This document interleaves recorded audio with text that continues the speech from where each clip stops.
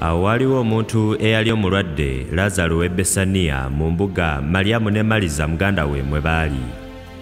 Malyamu oyo eyasiga mukama waffe amafuta n'amutaanya ebigere n'enviiri ze ye yalina mwannyina laazaalo eyali alwadde. Awo bannyina abo ne bamutumira nga bagamba nti mukama waffe laba gw'oyagala alwadde.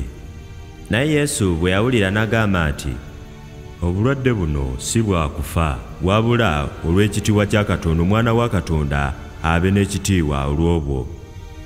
Naye yesu yayagala maliza ne muganda we ne laazaalo. Awo we yawulira ng'alwadde n'ayosaawo ate ennaku bbiri mu kifo kye yalimu. Ate n'alyoka agamba abayigirizwa be nti tuddeyo e buyudaaya.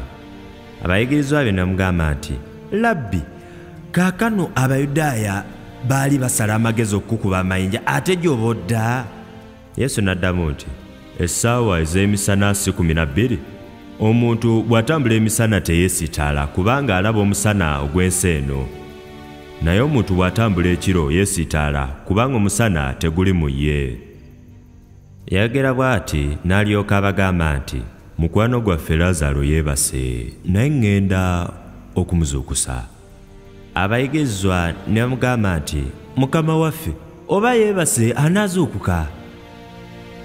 Naye yesu yayogera ku kufa kwe naye bo ne balowooza nti ayogera ku kwebaka kwa tulo awo yesu n'alyoka ababuulira lwatu nti laazaalo afudde. Nange neesiimye ku lwammwe kubanga saaliyo mulyoke mukkirize naye tugende gy'ali. Awo tomasi ayitibwa didumo n'agamba abayigirizwa banne nti naffe tugende tufiire wamu naye. Awo yesu bwe yatuuka n'asanga nga yakamala ennaku nnya mu ntaana.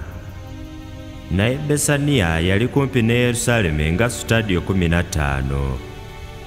Abayudaaya bangi baali bazze eri maliza ne maliyamu okubakubagiza olwa mwannyinaabwe awo maliza we yawulira nga yesu ajja n'agenda okumusisinkana naye maliyamu n'asigala mu nju amaliza n'agamba yesu nti mukama wange singa wali wano mwannyinaze teyandifudde.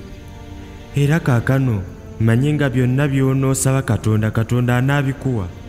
Yesu n'agamba nti mwannyoko ajja kuzuukira